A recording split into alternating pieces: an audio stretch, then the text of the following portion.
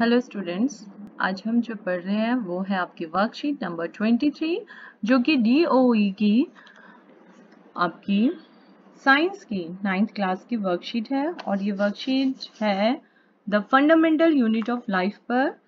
और इसके अंदर हम बेसिकली बेटा किसकी बात कर रहे हैं? हम सेल की बात कर रहे हैं। अब हम सेल के पार्ट्स की बात कर रहे हैं। उसका एक पार्ट हम ये देख रहे हैं, हमने एक सेल लिया और उसको जूम किया। उसको बड़ा करके माइक्रोस्कोप में देखा तो हमें सेल का न्यूक्लियस कुछ इस तरह से दिखाई दिया। इस न्यूक्लियस के अंदर सारे में हमें कुछ थ्रेड लाइक स्ट्रक्चर दिखाई दे रहा है। ये आपका क्रोमेटीन है। उसके आसपास हमें पाइप दिखाई दे रहे हैं। दिखाई दे रहे हैं ट्यूब्स दिखाई दे रही हैं और ये कुछ ट्यूब है जिनकी बाउंड्री अलग कलर की है और इधर बाउंड्री ब्लैक कलर की है। अब ये जो ब्लैक कलर की है, इसको भी मैंने जूम करके देख रही हूँ। ये कैसी है ब्लैक कलर की? ओ ये ब्लैक कलर की पूरी कोई रेगुलर सी, कोई स्मूथ सी मुझे लग नहीं रही है। इसके ऊपर मुझे black black black black dot दिखाई दे रहे हैं। दिखाई दे रहे हैं आप सबको? अच्छा तो ये जो डोट है, इनका नाम है राइबोसोम ठीक है? ये जो ट्यूब्स हैं बेटा, इन ट्यूब्स को बोलते हैं आपकी एंडोप्लाज्मिक रेटिक्यूलम आज हम उसी की बात कर रहे हैं। तो ज्ञान अपनी दीदी से पूछ रहा है। जिज्ञासा दीदी how does endoplasmic reticulum look like endoplasmic कैसा दिखाई देता है? And what is its function in a cell और एक सेल में एक सेल में इसका फ़ंक्शन होता क्या है? काम क्या करता है? तो दीदी आंसर देती है ज्ञान। एंडोप्लाज्मिक रेटिकुलम और ER is a large network of membrane bound tubes ये एक बहुत बड़ा नेटवर्क है जो पूरा फैला हुआ है। कहाँ पर? काफ़ी सारा फैला हुआ है। देखो कितना सारा। अगर इतनी छोटी सी एक सेल होती है तो उसके अंदर कितनी सारी जगह ये ट्यूब्स फैली हुई हैं। तो ये लार्ज नेटवर्क है ऑफ़ मेम्ब्रेन बाउंड ट्यूब्स मतलब ट्यूब्स हैं, उनके ऊपर मेम्ब्रेन है, जैसे आपके घर में पाइप है राइट right? पाइप की बाहर की कवर होती है। And sheets which look like long tubules और oblong bags called vesicles right चलिए ई आर है कैसी? E R of two types rough endoplasmic reticulum जिसको आर ई आर बोलेंगे R for rough endoplasmic E and reticulum मतलब R and smooth endoplasmic reticulum जिसको हम बोलेंगे एस ई आर अब हम शॉर्ट में बात करेंगे भाई। E R R E R और एस ई आर की। चलिए, आर ई आर, जो कि है आपकी rough endoplasmic reticulum has rough surface इसकी सरफेस रफ है, हमें दिखाई दे रही है। हमने पास से जब इसको देखा तो इसके ऊपर छोटी छोटी छोटी डोर दिख रही है तो ये रफ है इसका मतलब ठीक है? Has rough surface in appearance because it has small particles इसके ऊपर छोटी छोटी डॉट लगी हैं छोटे छोटे पार्टिकल्स हैं। इनको कहेंगे ribosomes attach to it ribosomes are the manufacturing sites of protein in a cell basically ये जो राइबोसोम ये जो ब्लैक कलर की डोट दिखाई दे रही है, यहीं पर बनता है एक सेल का प्रोटीन ओके okay? किसी सेल में प्रोटीन जैसे हमें सब कुछ चाहिए खाने के लिए, सारे ही हमें मेन चीज़ें चाहिए लाइक हमें प्रोटीन चाहिए विटामिन चाहिए, ऐसी प्रोटीन का मैन्युफैक्चरिंग किसी सेल के अंदर कहाँ होगा? राइबोसोम्स में बनता है। R E R rough membrane is connected with the outer nuclear membrane. ये जो आर ई आर है, ये देखो बिल्कुल कनेक्टेड है, आपको दिखाई दे रहा होगा। ये किसकी मेम्ब्रेन से कनेक्टेड है? वेरी गुड न्यूक्लियस की मेम्ब्रेन से ये कनेक्टेड होती है। Okay we know that all necessary information for the synthesis of the proteins are present in the nucleus अब बेसिकली ब्रेन तो किसी सेल uh, का है। न्यूक्लियस अब न्यूक्लियस ही उसे डायरेक्शन देगा। कौन सा प्रोटीन कब बनना है? ठीक है? We know that all necessary information for the synthesis of the protein are present in the nucleus on DNA. Nucleus के अंदर जो डीएनए है वही इंफॉर्मेशन देगा whenever any type of the protein is required by the cell These information are carried out by RNA to the ribosomes. जब भी कोई special type का प्रोटीन चाहिए सेल को तो क्या करेगा? सबसे पहले डीएनए बताएगा कि मुझे स्पेशल टाइप चाहिए, फिर आरएनए उस इंफॉर्मेशन को लेके जाएगा। और कहाँ लेके जाएगा? राइबोसोम्स के पास। और ribosomes which manufacture the required protein on the basis of such information for the cell These proteins are sent to various places in the cell by RER उसके बाद ये सारी प्रोटीन्स दिए जाते हैं जो बन गए आपके प्रोटीन बन गए उसके बाद these proteins are sent to various places in the cell by RER.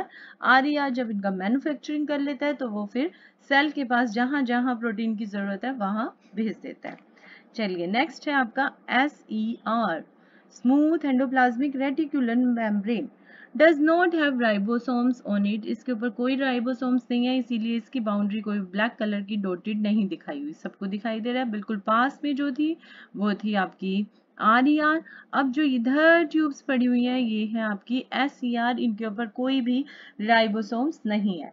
S E R produces fats lipids molecule that are important for the cell functions अब ये देते हैं फैट्स और लिपिड्स ठीक है? चलिए some proteins and lipids molecules help in building the cell membrane during cell division जब cell division होता है बेटा, एक सेल से टू सेल्स बनती है है ना? रिप्रोडक्शन के टाइम उस टाइम क्या होता है? ये इंफॉर्मेशन कि सेल की कैसे प्रोटीन होगी कैसे बनेगा वो सेल उसकी सेल मेम्ब्रेन कैसी होगी, ये कौन देगा? ये एस ई आर देती है। एस ई आर बनाती है उसकी cell membrane this process is called membrane biogenesis तो एस ई आर मेनली काम कर रही है आपका मेम्ब्रेन बायोजेनेसिस मतलब कुछ प्रोटीन कुछ लिपिड्स जो बना रही है। एस ई आर वो किस लिए बना रही है? वो सेल मेम्ब्रेन बनाने के लिए बना रही है और कब बनेंगी ये सेल मेम्ब्रेन जब न्यू सेल बनेगी।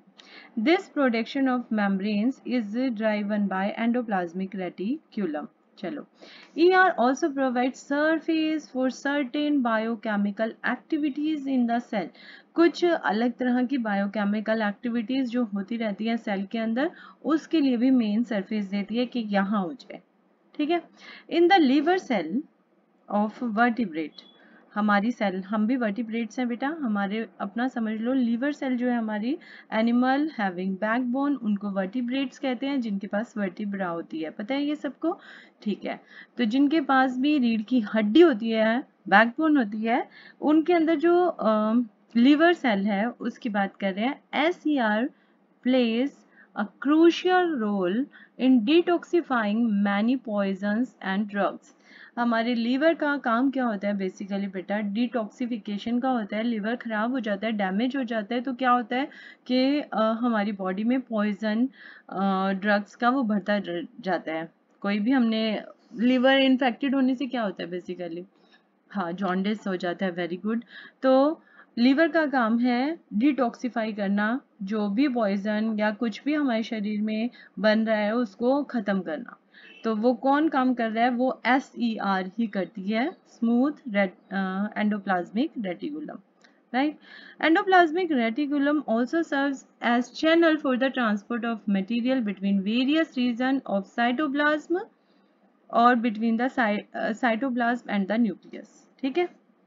देखो, ये ट्यूब लाइक स्ट्रक्चर है, ऊपर चलते हैं एक बार। ये ट्यूब लाइक स्ट्रक्चर है और इसके अंदर से कुछ मटेरियल जो है वो अंदर और बाहर मतलब यहाँ सेल के अंदर ही बहुत सारी चीज़ें इन्हीं ट्यूब्स के द्वारा इधर उधर जाती हैं। क्लियरली समझ गए वाली बात? तो ये सर्व एज ए चैनल ये बीच में चैनल है जो ट्रांसपोर्ट करता है मटेरियल को वेरियस रीजन ऑफ़ साइटोप्लाज्म और between the cytoplasm and the nucleus. Cytoplasm मतलब न्यूक्लियस के बाहर का जितना रीजन है किसी सेल के अंदर, वो साइटोप्लाज्म में है। ठीक है? तो साइटोप्लाज्म और न्यूक्लियस के बीच में बहुत सारी इंफॉर्मेशन या बहुत सारा मटेरियल ये सेंड करते हैं। ठीक है? अंदर और बाहर आराम से जा सकता है। कहाँ? सेल के अंदर ही। ई आर फॉर्म से network system in the cell ये एक तरह का नेटवर्क सिस्टम है। पास करने के लिए नेटवर्क का काम क्या होता है? हमारे घर में नेटवर्क लगा हुआ है। घर के बाहर नेटवर्क है, आपके घर में फ़ोन सिस्टम है वाईफाई सिस्टम है, ये भी ऐसे ही एक नेटवर्क का काम कर रहा है जो चीज़ों को इधर से उधर पास कर रहा है मटेरियल को राइट चलिए name and differentiate between two types of endoplasmic reticulum तो नेम हमारे पास आ गया यहाँ से E R of is of two types endoplasmic sorry rough endoplasmic reticulum and smooth endoplasmic reticulum दोनों की आपको साथ में लिखना भी है।